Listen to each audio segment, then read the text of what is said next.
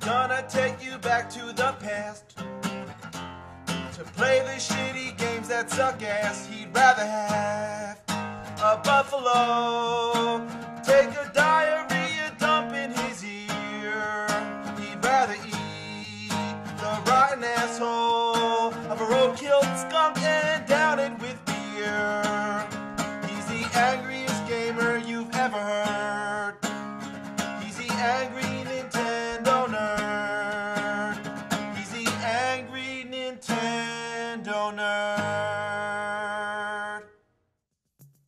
Top Gun sort of marks the beginning of a genre. It was one of the first flight simulation games for the Nintendo Entertainment System, or at least one of the most commonly referred to. We obviously know that it ain't got shit compared with games today, and for that reason you might think it's not worth complaining about. But no, it sucks ass now, and it sucked ass back then. Check it out. Mission 1 is training for the next mission. Okay, sounds simple enough. So you get a choice of missiles. So would you rather have more or less? What kind of fucking choice is that? Pick more. I mean, the idea is that the fewer missiles is more powerful, but guess what? Whenever you shoot an enemy plane, all it takes is one shot to blow them up. Even your regular machine gun bullets take them down in one shot, so what's the point? And I love all the useless information on the control board altitude, speed. I mean, really, what does it matter? And look at all the gauges on the right just for decoration. The first thing that really sucks about the gameplay is just the fact that it's boring.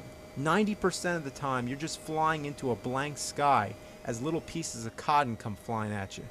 And yes, I know they're supposed to be clouds. Also, notice the absence of music.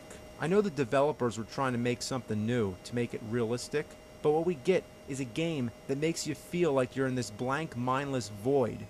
Like, if purgatory exists, this is what it is Top Gun for the NES. I'd rather fly a cargo plane full of rubber dog shit out of Hong Kong.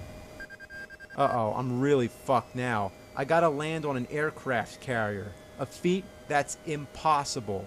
Your radar monitor gives you instructions on how to land, but no matter what you do, you still crash. You know, it's like every time I get to this part, I think I might have a chance. This is gonna be it. I'm Finally gonna land the plane.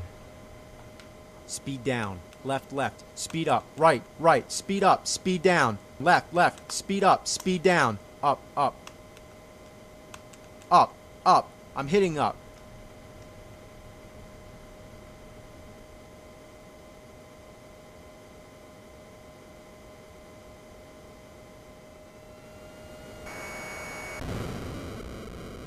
Ass! Fuck! It's impossible. I mean, why is it so hard? I mean, I guess because they were trying to make it realistic, like if you were actually trying to land on a real aircraft carrier, but I highly doubt that any of this game is like really flying a plane. So even though I crashed, it only takes a life away and it still lets me continue to the next level. Mission 2 Destroy an enemy aircraft carrier. Alright, fine. As long as I don't have to fucking land on it, now the only difference with the second level is that you're below the clouds and you can now see the water. Basically it's just a darker color blue than the sky. But stay the fuck away, there's battleships that shoot the shit out of you. You're best off just flying into the sky the whole time. Now halfway through this level your fuel starts to run out, so this refueling plane comes and then you have to control its nozzle. So just like landing the plane, this is impossible and I've never once done it. You just have to be lucky. I mean, your accuracy has to be 100% perfect. And really, I don't have a fucking clue how it works.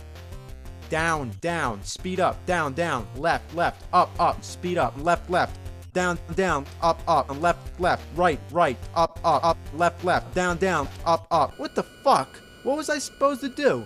Now, now look at the plane. It just goes away like fuck him. I mean, they just leave you out here to die. At this point, it should just say game over, but instead it allows you to play for a little longer, which is pointless. You're done for.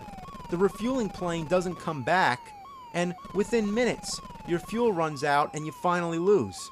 And that's as far as I ever got. What a shitload of fuck. This game chews turds. This game sucks your balls off and spits them up your ass. Now I know there's only four levels in the game, so it's kind of the same deal as Karate Kid. It's a short game, but it's as hard as a fucking T-Rex's shit. Now, because I've never passed that refueling plane, I've never seen the last two levels. So what I've decided to do here is to create my own version of what I think the last two levels may be like. Mission 3, blow shit up.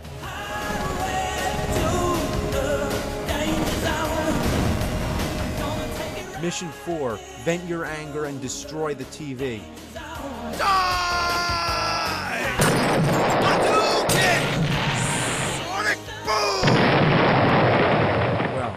just haven't had enough fun torturing yourself with this awful game and you still want some more, well, guess what? You're in luck. There's a sequel, Top Gun The Second Mission, which doesn't really make much sense because it sounds like you're talking about the second mission in the first Top Gun. So, whatever. I mean, wouldn't this be mission 5 and up? Even the tops of the game cartridges look completely identical Top Gun and Top Gun. If you have a microscope, you might be able to read the second mission under there. Now, to tell you the truth, the second Top Gun isn't as bad as the original, but it sure is a hell of a lot fucking harder if you could actually believe that. The gameplay is a lot faster, you can fly upside down and spin around, although I don't really know what the point of that is. And there's also not as many dead spots where you're just waiting for something to happen and looking for enemies. Here, your enemies come after you right away and they just blow you out of the sky, so you have to really think fast. The missiles are really hard to dodge, and just like the first time, one missile is enough to kill you. But this time, they're even worse because they're faster and they don't seem to come anywhere near as close as they did before. In the original Top Gun, when a missile hits you, it looks like this. And in the sequel, it looks like this, much farther away. So if you play the original first, you're going to be really disoriented that you have so much less time to get out of the way. Besides, they still look like bowling balls on fire. I never made it past the first stage, but that's also because I don't have the patience for this crap. Now adding to this game, there's a versus mode. The one player game where you battle the computer is impossible, your opponent just disappears right away. He flies right behind you and just blasts your ass to oblivion. And the two-player game is what it is. It's just two players shoot each other up. And the one thing I find really disappointing is that after you blow up your opponent, you see him escape in a parachute. And you don't want that to happen. You want to see him die.